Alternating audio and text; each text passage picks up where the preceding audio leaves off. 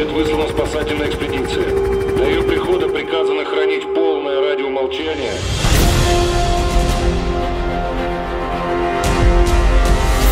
За нами, возможно, есть кабинет. Капитан Петров освобождается от должности. Вплоть до прибытия на особо нового капитана Севченко.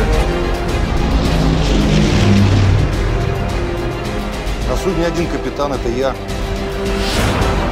Я думаю, нам надо вместе решать, как отсюда выбраться. Я решу.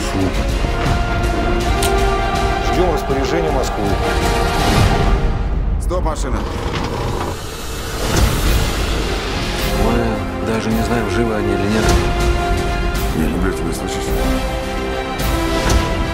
Петров, ты что творишь?